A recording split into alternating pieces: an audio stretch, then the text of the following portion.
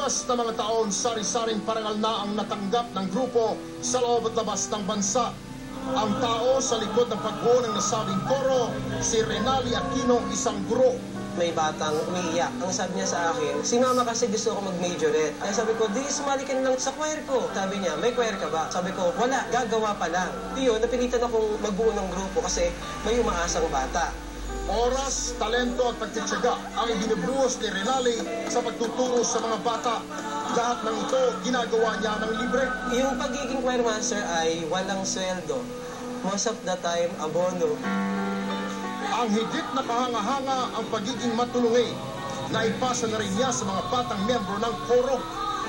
Ang kita sa kanilang mga konsyerto, pinili nilang gamitin para sa mga kababayan nilang nangangailangan. Tulad na lamang ni Serafino na tinamaan ng matinding sakit sa bato. ang nagpa-concert na ano, ng choir niya, yung fund na nakolekta nun, ibinigay sa akin.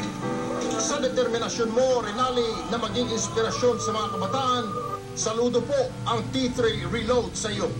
Maraming maraming salamat po sa T3.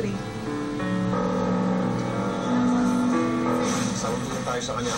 Narito po sa ating studio.